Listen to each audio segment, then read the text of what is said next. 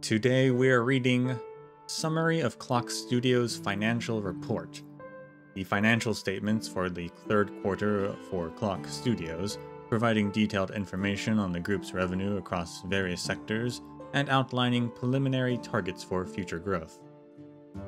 In the third quarter of this fiscal year, the studio's revenue amounted to Alfalfa credits, a year-to-year decrease of 19.2%, and a quarter-to-quarter decrease of 10.2%.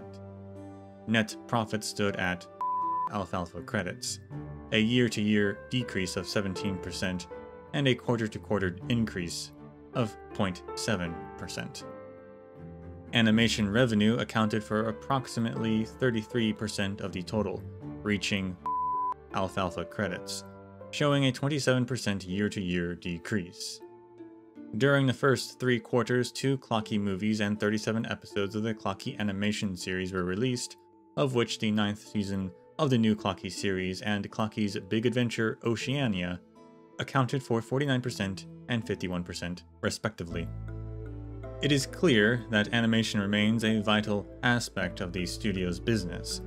However, the missing chairman caused an impact on the production capacity for the Clocky series, resulting in a significant downturn in ticket sales and the growth of revenue. Image licensing revenue accounted for approximately 29%, reaching alfalfa credits. Throughout the quarter, products such as a dressable Clocky, Origami Bird drone, and Mini Brother Hanu game console, released in collaboration with Pikapi Toys Factory, achieved favorable results in the market the studio will continue to invest in relevant products to facilitate the production of higher quality merchandise.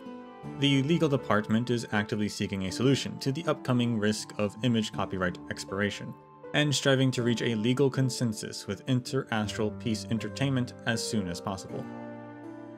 Clock Studios theme park generated a revenue of alfalfa credits, accounting for approximately 18% of the total. Due to the promotion of the Charmony Festival, the theme park's capability in attracting customers and revenue has significantly increased. Investments in iterating amusement programs yielded a positive response, with a 15% rate of return. Investments in visitor services achieved the highest rate of return at approximately 24%. It is expected that during Charmony Festival, the Clocky celebration will break through the profit high point in the fourth quarter. Revenue from collaborations outside of Penacony accounted for 11%, while collaborations and merchandise sales within Penacony accounted for 79%.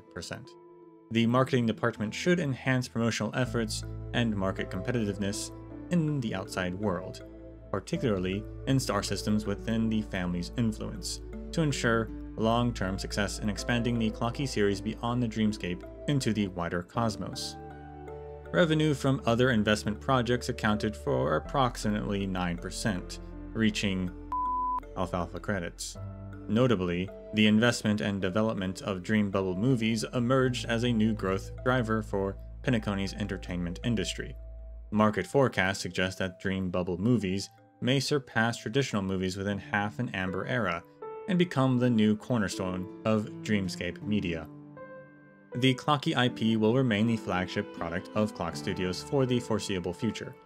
However, it is currently facing several challenges.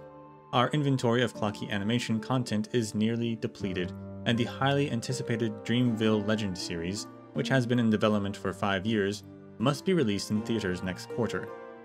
The finance department emphasizes the urgency of establishing contact with the chairman to make new strategic decisions failure to do so could pose a significant risk to the financial stability of Clock Studios' capital chain.